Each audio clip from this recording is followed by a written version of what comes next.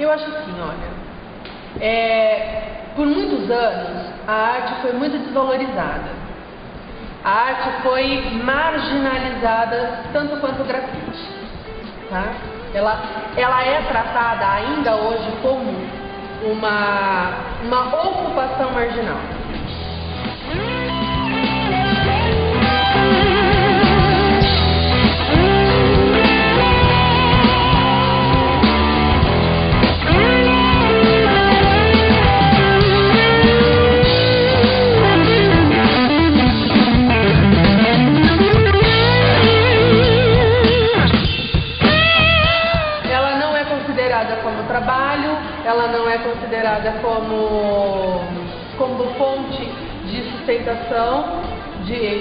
De, como fonte de renda. Então, isso acaba colocando a arte como um ato marginal.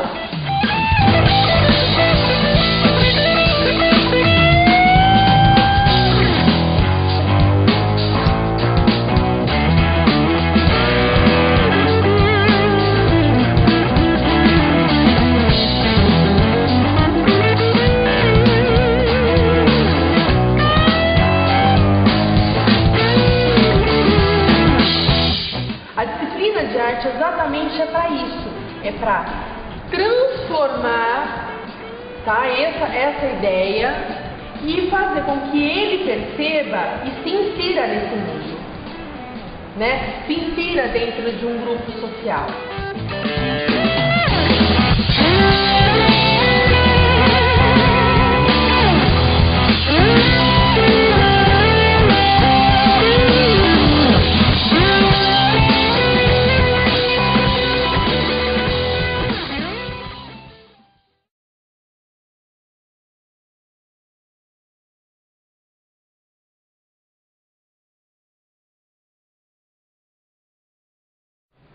Olha, para mim foi uma grande surpresa, porque eu não sabia como fazer, em razão de eu não ter é, técnicas né, de grafite, eu sou apenas uma apreciadora, né?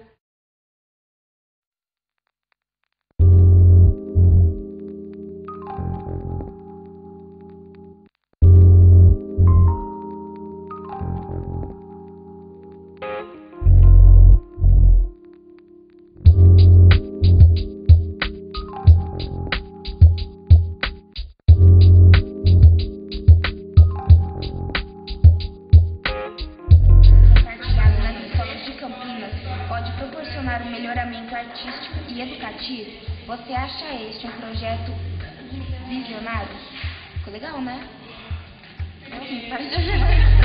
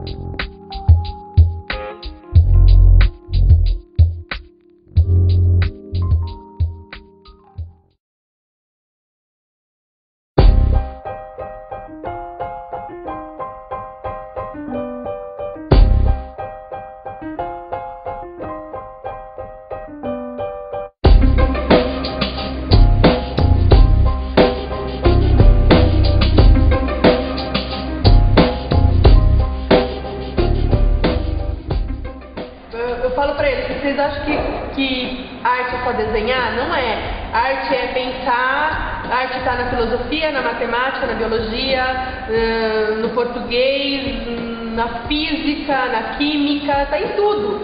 Você só precisa encontrar essas relações para fazer sentido para você, não é? Então, é, uma vez que o grafite é uma, uma expressão, uma maneira de se comunicar, eu creio que sempre vem acrescentar, né? Porque na verdade, para mim, a arte é isso. E o grafite é um tipo de arte, né? É uma forma de expressar arte. É uma forma de expressar o, a essência do ser humano. Quando eu vejo uma obra de arte, que eu pego uma tela, eu não estou vendo ali só a ideia, eu estou vendo todo um processo de, de, de, desenvolvimento daquilo, até chegar, nossa, eu consegui expressar o que eu queria. É, o grafite, cara, é, você pode usar o grafite, porque quando fala grafite se associa a spray. Mas você pode usar outras técnicas para fazer o mesmo desenho de grafite desenhado a mesma coisa, tintinha, bonitinho. Acontece que nós que trabalhamos na área de educação, educador social, professores e tal, às vezes, ah, fica nos spray, fica mais na hora, que não sei o quê. Se você pegar uma spray, já está escrito aqui o número da lei e a portaria, proibido para vender para menores de 18 anos. Entendeu?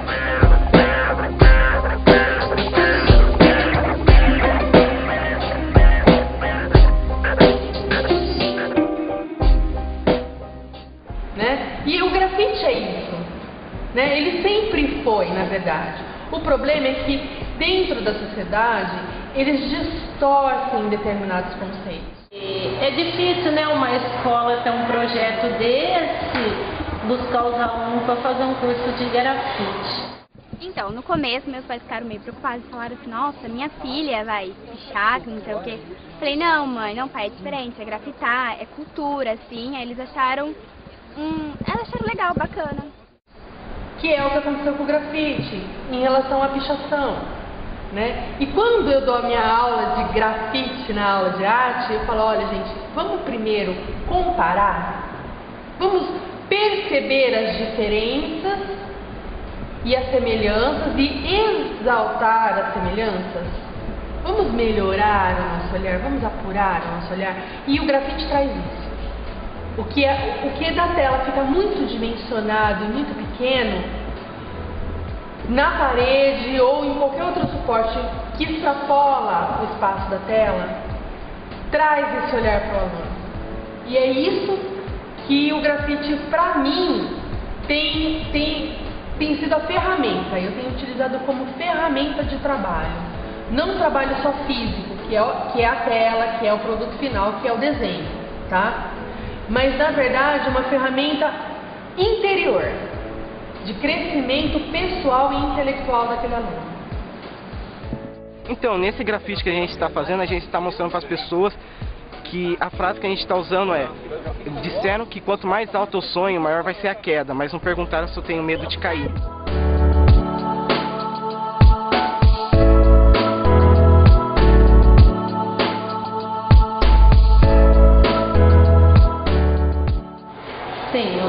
estão gostando sim, porque eles estão todos, eles estão se interagindo na aula, né? Está sendo feita e a gente está vendo o interesse deles. Professor Nelson que vem nos ajudar, trazendo as técnicas, né? E ensinando os alunos a desenhar, a misturar tinta, uma série de coisas, enfim, né? E até o gosto, né, pela, pelo grafite. Tem que ir lá na escola, tem que ir lá trocar ideia olho no olho com o cara o que, que nós vamos fazer? O que, que pode melhorar? Sempre ouvir ele, sempre buscar sugestões, nada de eu mando, você obedece. Entendeu? As minhas atividades eu raramente coloco a mão em alguma coisa, eu sempre conduzo deixando eles resolver. Pô, errei, professor, errou, vamos arrumar, vamos buscar uma solução. Mas nunca interferir. Deixa ele quietinho lá, deixa ele cometer o erro dele, deixa ele acertar do jeito dele. Quando ele precisar, você tem que estar sempre lá. Esse é o segredo, não tem muito mistério. Quando você percebe, você criou um, uma situação tão boa e tão gostosa tão divertida que aquilo, em vez de ser doloroso, obrigatório, né? Obrigatório e aquela coisa massificada e chata, ela se torna tranquila, é, prazerosa, divertida, diferente. E isso é o objetivo né, da transformação eu não entendia o porquê ninguém queria trabalhar com adolescente. Porque toda vez que você ia fazer o currículo em algum lugar, você trabalha com adolescente, pode começar a segunda. O cara nem perguntava o resto. Eu acho legal esse interesse dos jovens em querer participar do grafite, para querer passar uma mensagem para as pessoas, do mostrar que grafite, que os jovens não são só desinteressados, que só quer saber bagunçar, só fazer coisas erradas, como esse grafite que a gente está fazendo aqui nessa parede. Ele pode estar em qualquer lugar, ele sempre vai ser adolescente, ele sempre vai ter as mesmas perguntas, as mesmas dúvidas e sempre vai estar buscando soluções. Ele tem aquela fase dele, que ele tem aquela necessidade de aparecer para o grupo.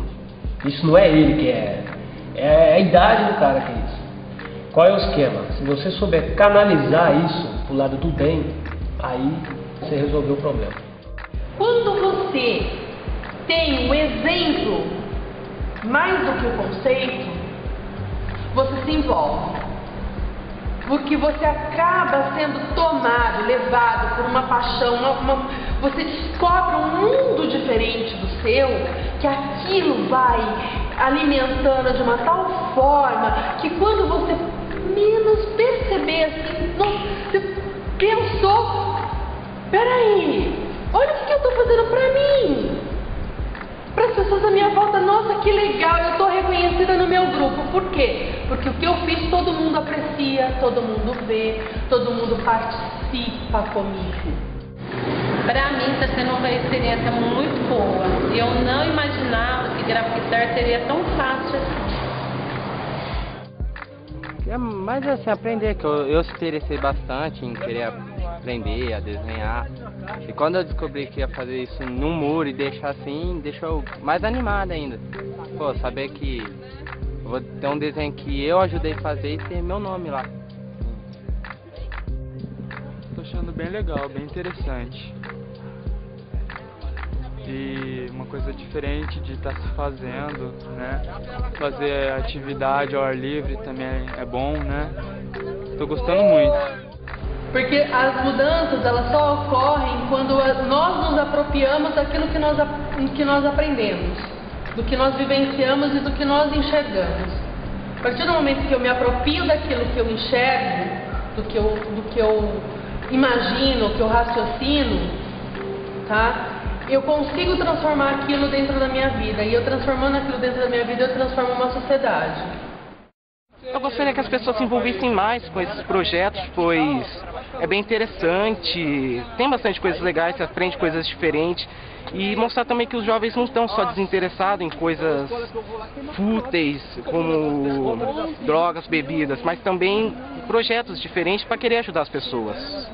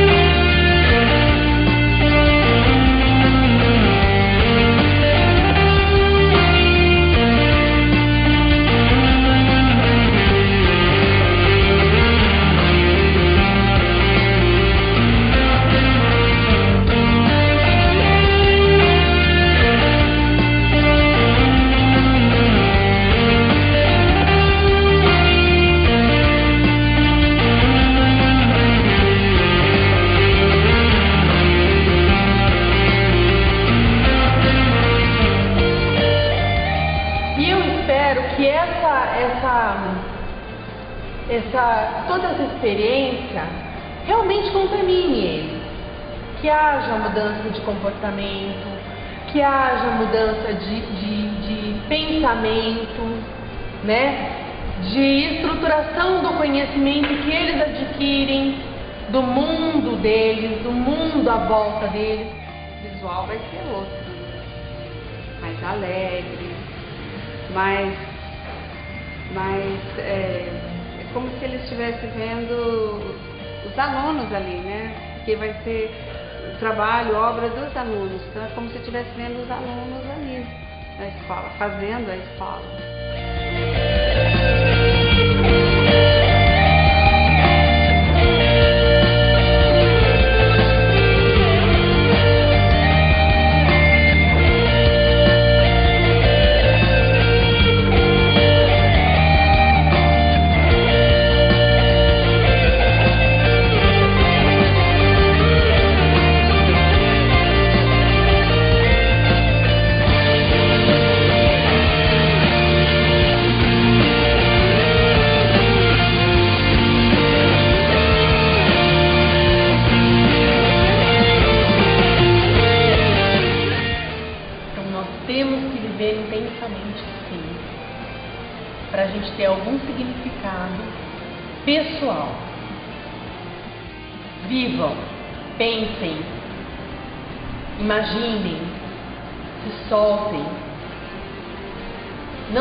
Medo de errar enquanto, enquanto se pode errar. Enquanto a responsabilidade não é tão pesada. A partir do momento que ela se tornar pesada, tente transformá-la mais leve.